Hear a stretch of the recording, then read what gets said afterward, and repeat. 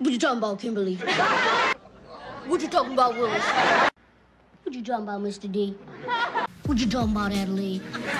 He was the little guy everyone loved. Gary Wayne Coleman ruled the 70s as Arnold on the hit show Diff'rent Strokes.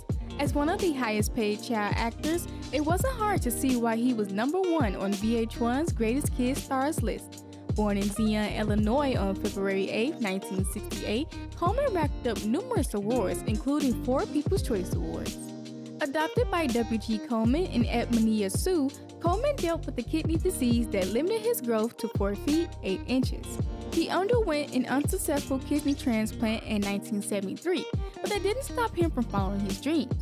Appearing on The Jeffersons, Good Times, and more, it wasn't until Coleman got casted in Diff'rent Strokes that everyone realized his talent. Everybody knew him as Arnold Jackson, Willis Jackson's adorable baby brother with the mind that didn't hold back any thoughts.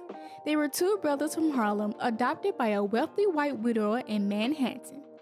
The show instantly became a hit, running for eight seasons, but not without a plethora of troubles behind the scenes from the cast. From drug abuse to dating each other, there were many issues on set.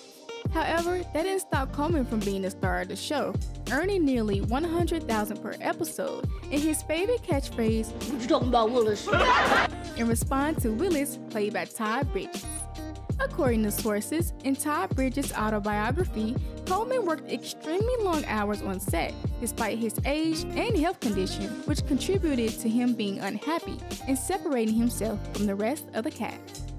Coleman also struggled with financial and legal issues. His parents, financial advisors, and lawyers took most of his money and left him with less than a quarter of his earnings from Diff'rent Strokes. Later, he successfully sued his parents and former advisors for mishandling his finances and was awarded $1.3 million. He also won another 1.2 million from suing them in 1993. As he got older and his career began to fluctuate, Coleman started acting out in public. In 1998, he was charged with assault for punching a security guard. The guard, a woman, was a fan of Coleman and asked for an autograph while Coleman was shopping, and Coleman refused. The guard then mocked Coleman's career, which resulted in Coleman punching her in the face several times in front of witnesses. He was ordered to pay her hospital bill and take anger management classes. In 1999, he filed for bankruptcy protection.